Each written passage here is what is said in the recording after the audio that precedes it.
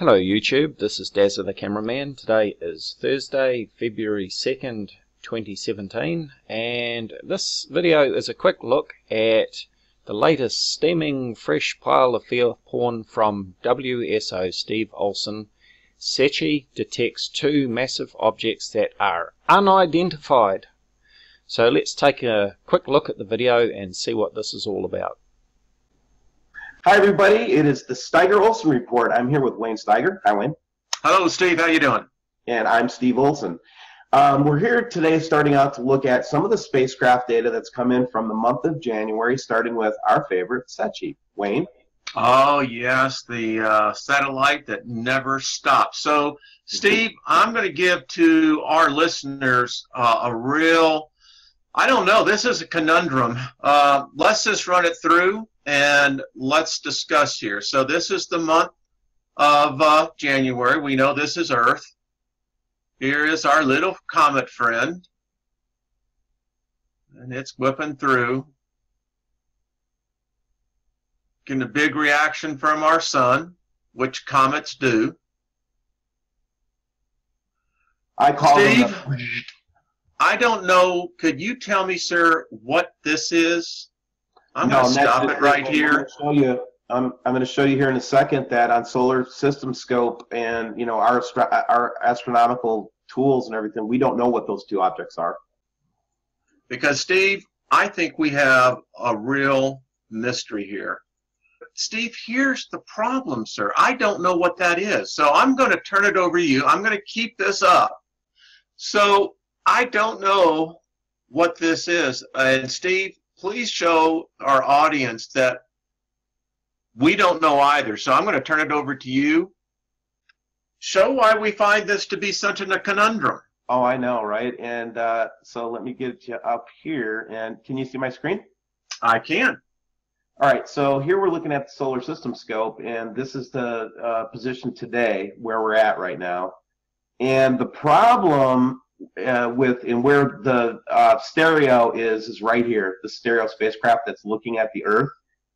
Now we do agree that we're seeing Encke coming in, that little dot coming in, and I do. I think we both agree that that's what that little dot is, right? That is Encke. I, yeah, yeah. It, it's got all the characteristics. Yeah.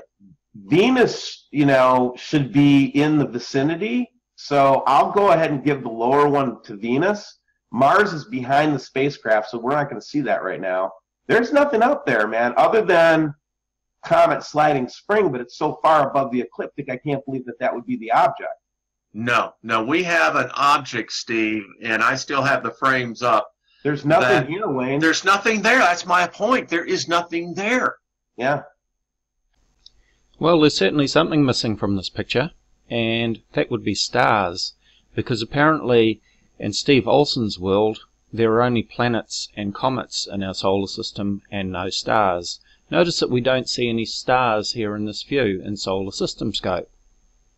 So let's take a look in Starry Night and see if we can identify what these two mystery objects are. So here is our view in Starry Night from the Stereo Ahead spacecraft starting on January 1st 2017 and as you can see they have correctly identified the Earth and we have the comet which is not Encke but Comet Honda 45P out to the right here coming in. So let's step this forward one day at a time and see what happens to the background stars. Of course they're moving across our field of view from left to right as Comet 45P progresses from right to left. You can see Venus just out to the right of the screen there. But now already we can see we can see that there are two bright stars just to the left of the Earth. So let's identify what these two bright objects are. The top one is the bright star Algieba and the bottom star is the bright star Regulus with an apparent magnitude of 1.34. Algieba has an apparent magnitude of 2. So very simple, no great mystery, two stars. Yes, that's right Steve Olson and Wayne Steiger, there are in fact stars in space.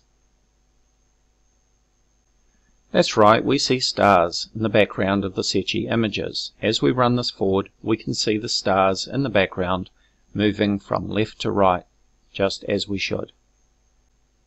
No great mystery, just two stars. And to think that people are looking to these two clowns, Steve Olson and Wayne Steiger, as if they know what they're talking about. As always, do check out my Facebook discussion page, Voices of Reason to Explain X or Vortex. You'll find a link in the description area. Thank you for watching.